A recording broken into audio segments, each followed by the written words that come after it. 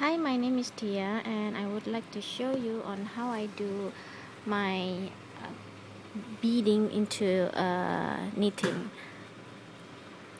Uh, this is what I do if I already pre-string the beads into the yarn. So uh, previously I've already put the beads into the yarn using the help of um, thread and um, sewing needles. And now I want to show you on how uh, to put in the beads into the stitch.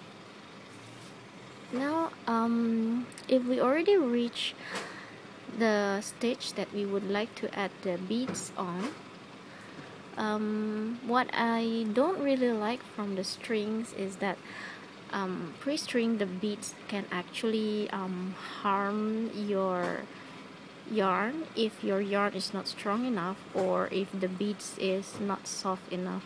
I heard that this kind of issues um, especially coming from um, the crystal Swarovski beads because they do have um, sharp edges.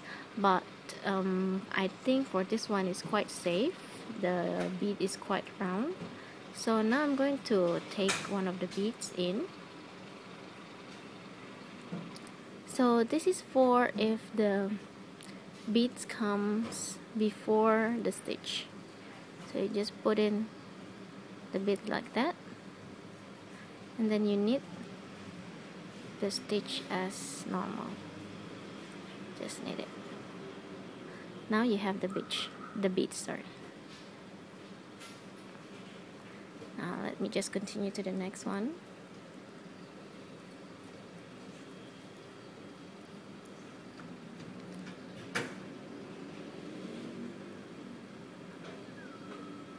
and if you want to put it after the stitch for example I want to put it on this stitch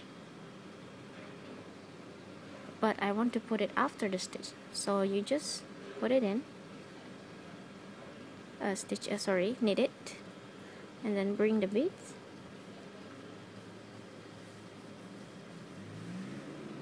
Sorry bring the beads you hold it with your finger and then you just knit it as normal. So basically it's the same with before or after but you just put it before or after this, uh, the stitches. So here it is. The beads that I've already put in. Okay.